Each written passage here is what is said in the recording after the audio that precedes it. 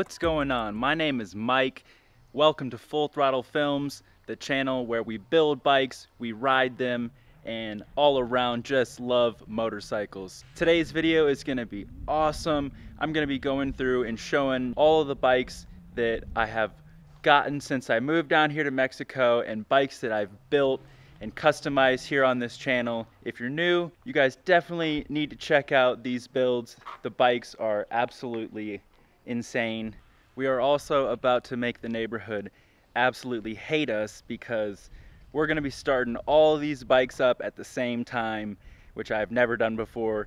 And I'll be going through and giving each of them some revs so you guys can hear how good they sound. So along with that fun, I'm just going to be talking a little bit about each of these bikes, how I came about owning them.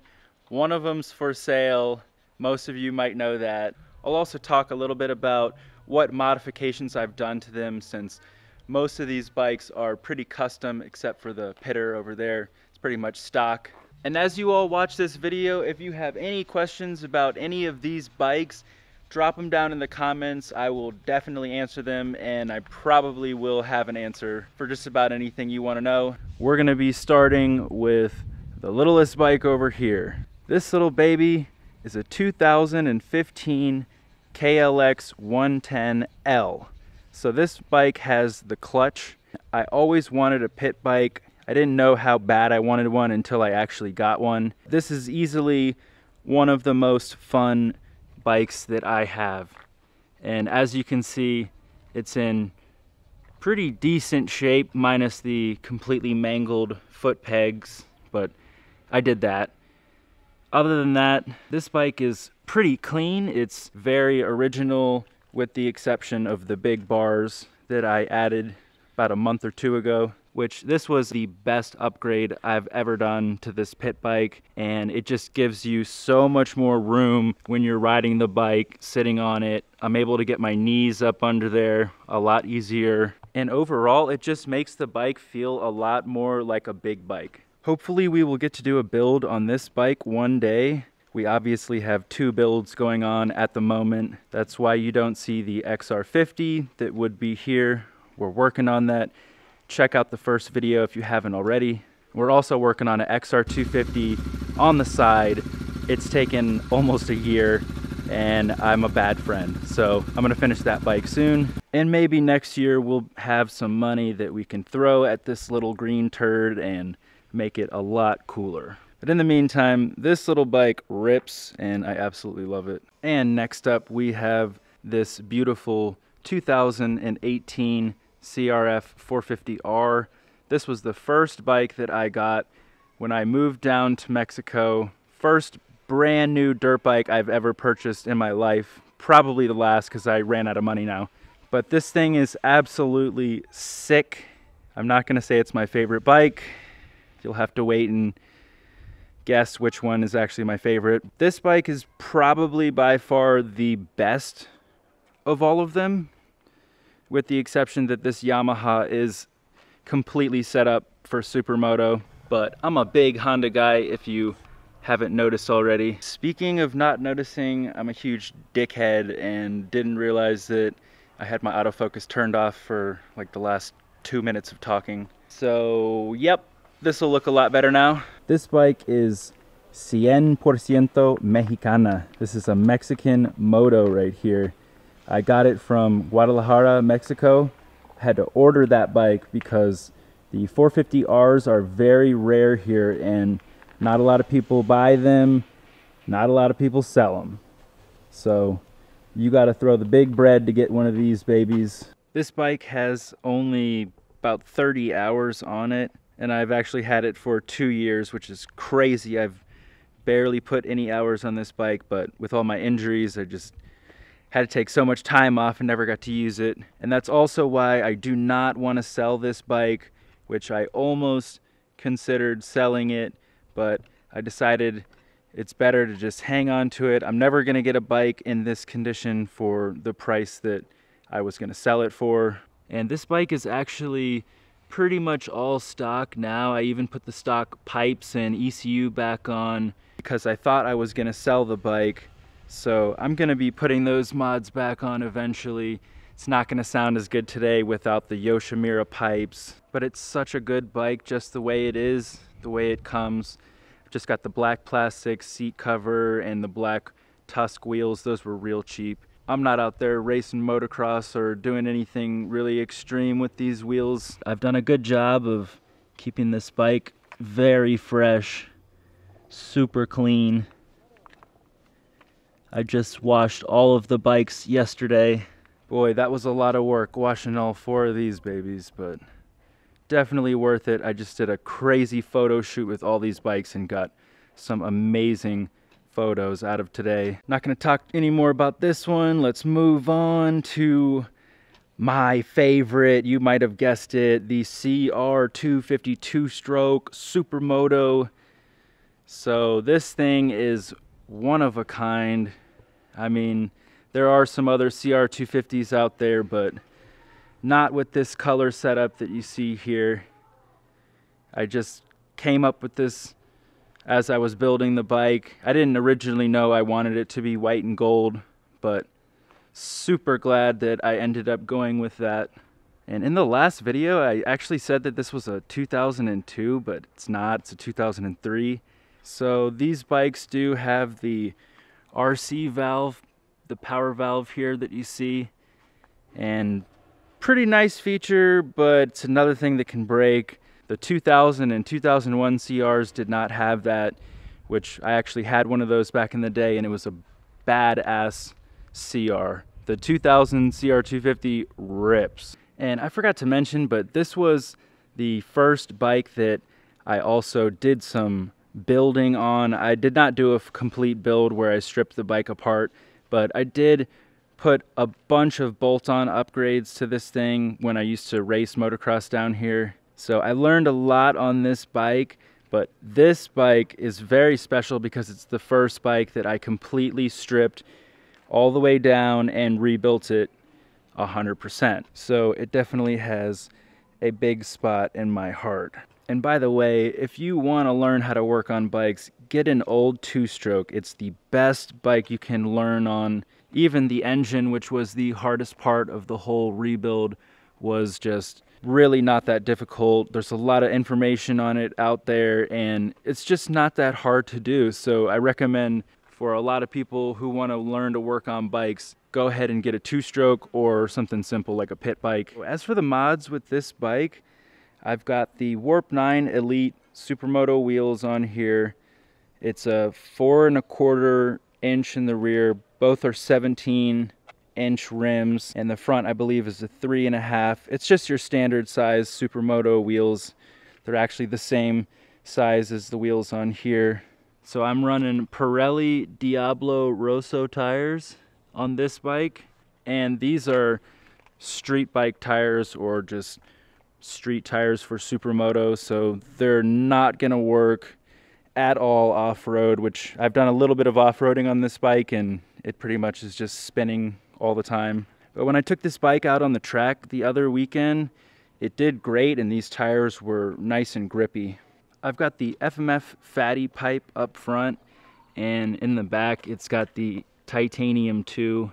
This bike also has the V-Force 3 reed system along with the Lectron H series carburetor. This bike has a good 40 to 45 hours on it, so I'm getting ready to take a look at the piston, but I'll probably wait another 15 hours to be honest, because bike's still running pretty good.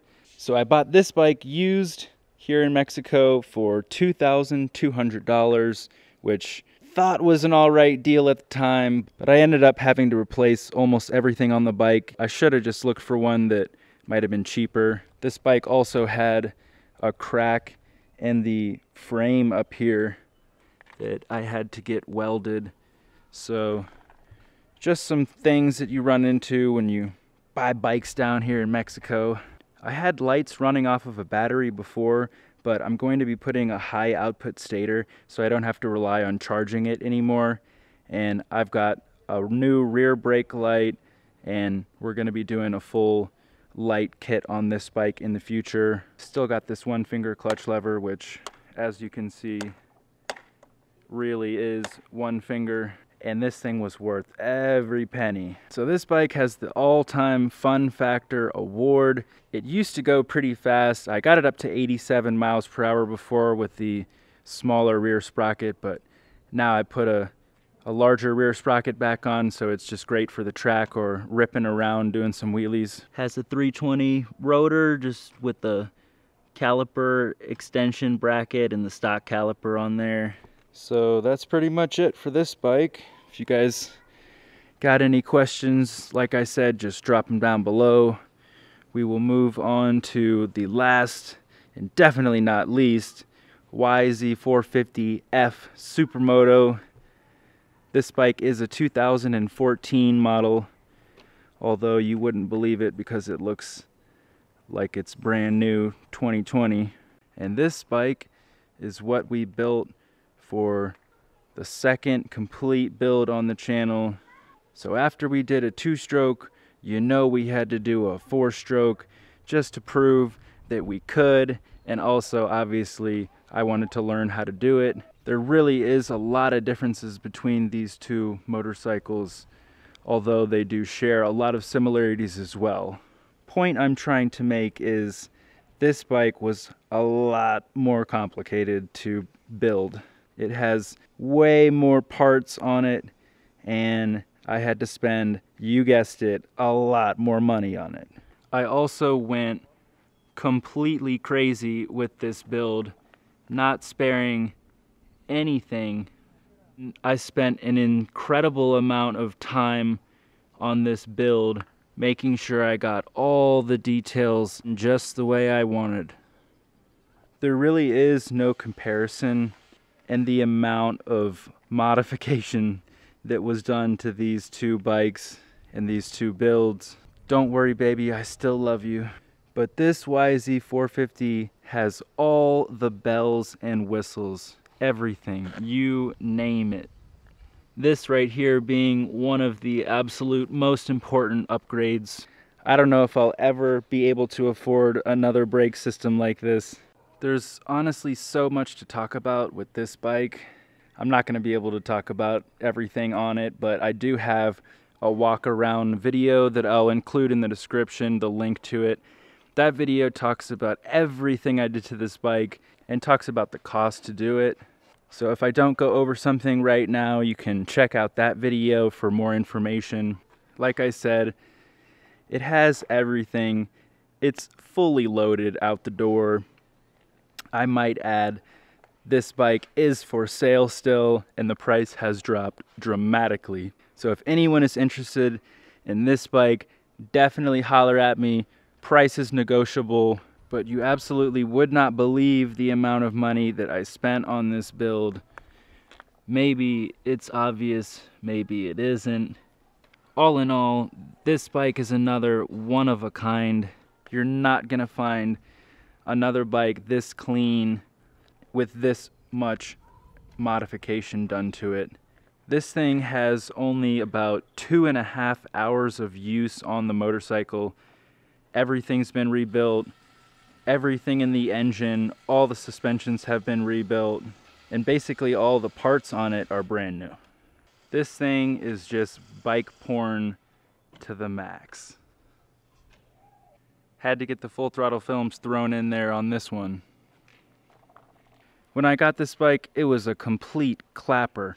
I drove three hours to go pick this thing up because it was the cheapest bike I could find on Facebook Market.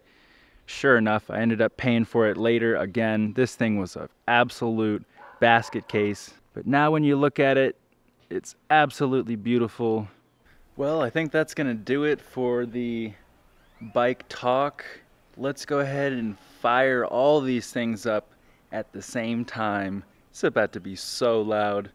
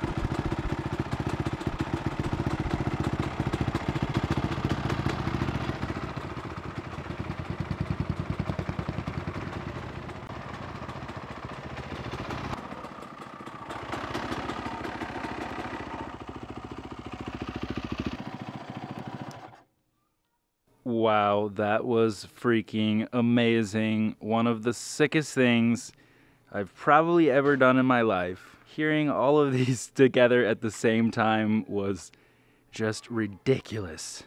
I can only hope that you guys got some real satisfaction out of all of those rev bombs we just dropped. You gotta comment down below which bike sounds the best. I mean, you can comment which bike you like the best, but what I care about is which one you think sounds the best. Too bad I don't have the Yoshimura pipes on this bike. And just for that, I'll give you a taste of what it sounds like.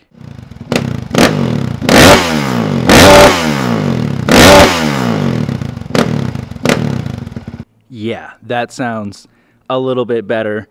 So Tell me which do you think sounds the best out of these three. Don't even tell me that bike sounds the best because you're freaking smoking something. Gotta know what you guys think. Whew, your boy is sweating it up out here. Hope you guys enjoyed this video. I had a lot of fun making it and hopefully I get to make another video like this in the future, maybe with a few more bikes or probably just the same ones, but I guarantee you we're going to be making some changes on all of them soon. The only problem now with starting all of these bikes up is I really want to go ride. So I'm going to need to pick one of these and probably go out for a little ride after this. We will be getting back to these bike builds just after this video. Hold up. You didn't really think I was going to leave you without some epic cinematic shots, did you? I got you, fam.